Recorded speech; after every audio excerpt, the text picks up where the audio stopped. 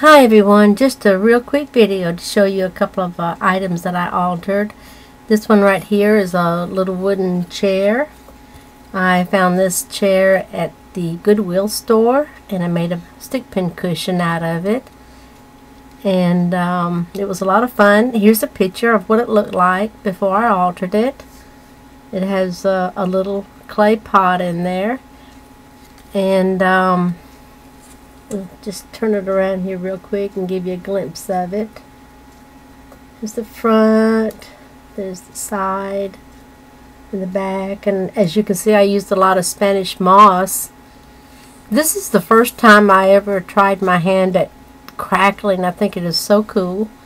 I've seen lots and lots of videos of people doing the crackling process, and I've got some of that crackling stuff to make it but the latest video that I saw was Jane at Velocity Vette 08 and she used uh, Elmer's glue which I thought was cool.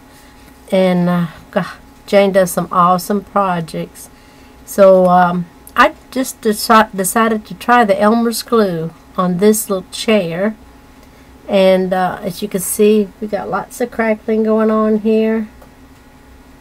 And I wanted to give it a rustic look I used burnt umber as the bottom base for the crackling and then um, linen for the top coat but I toned it down just a little because I wanted a, a little more rustic look instead of real bright. And um, all the flowers are from Wild Orchid Crafts. And I have a little straw hat there on the back and one of those little vine wreaths as you can see. Found some of those little items at a yard sale. They're so darn cute. I stuffed a top here and topped it with some lace and added some vintage trim around the side and I have a little piece of fabric here that I ripped and made a bow with some little twine and some more Spanish moss and I tucked Spanish moss, you know, all around different places and uh, to give it a rustic feel. Here's a little fabric that I cut and raveled and just laid over like a little arm pad. And another butterfly here that I fuzzy cut out. And let's see, of course stick pins there. Here's the other side view and I just tied a little piece of twine right here on that side. And this is the back. And um, the clay pot that was in it I, I covered it with some book pages Mod Podge some book, book pages over that and just run a little paint over that. And I have some Spanish moss and some uh, little twine wrapped around the base of it. And then I just use uh, distress ink over the edges there to distress it. Okay, that's one of them that I did. And then another one that I made is this uh, little jar here that I altered. I needed a pin cushion for my sewing machine. And um, this is one of those plastic jars that you can buy. It has those little jelly beads for a room deodorizer. And I like the style of it and so uh, I just uh, altered this. I covered the base of it first with some gesso. And then I used some of this yarn right here that I got at Walmart. It's cool looking. Pretty.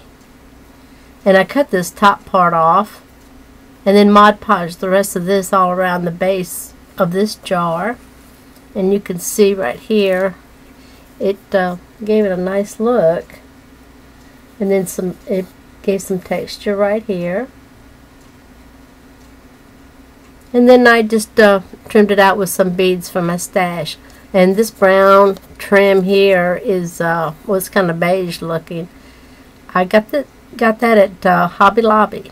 It's such pretty trim got that on sale and this beautiful trim right here on the corner, uh, this came from Annie Miss Garden Grove store. So pretty. And then the front, I gathered some fabric here and uh, add a little bloom and a little bling in the center. And just added a little flower on the back. And it's, I just use it to keep my straight pins in. Real handy. It's cool.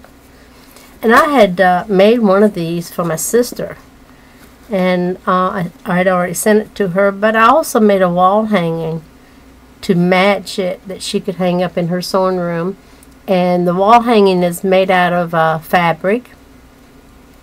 And I put uh, mm, two, three pockets. I don't have it here to show you, but I got a couple pictures. It's got uh, pockets on the top and a large pocket on the bottom. And I just trimmed it out with all the same types of beads and colors that I used on the pin cushions so that you know they would match. And uh, it turned out pretty nice and she really likes it.